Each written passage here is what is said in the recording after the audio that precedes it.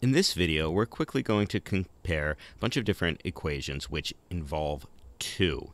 This first one is the constant equation y equals 2. And as we can see, no matter what the value is for x, we just get y equals 2, which is a straight line linear equation.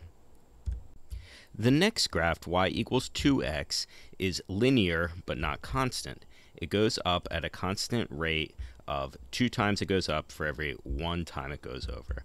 We have a classic linear graph.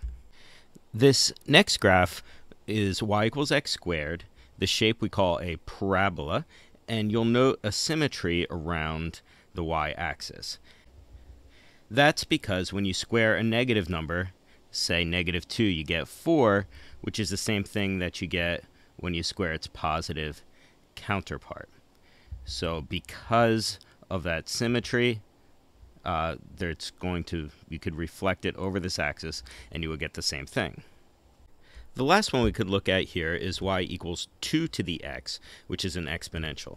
Just a couple of quick things I want to highlight. First, you notice how explosively this rises, and hence the, the common terminology exponential increase. It's just going to go up very quickly.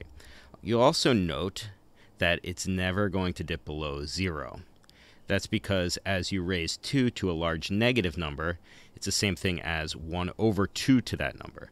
So you're going to get infinitesimal fractions, but you'll never quite get down to 0. Hope that helps.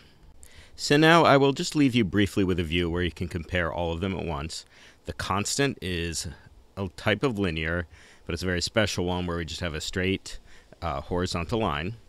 We have the linear in this case, we have a line with a slope of 2. Quadratic is the parabola shape, symmetric about the y-axis. And the exponential has a horizontal asymptote, never gets down uh, to 0, and then it increases very, very quickly um, once you get into the positive numbers. So I'll leave those for you to look at. Hopefully uh, that helped and just gives you a very quick overview of some of the different types of equations and functions that you can encounter. Thank you.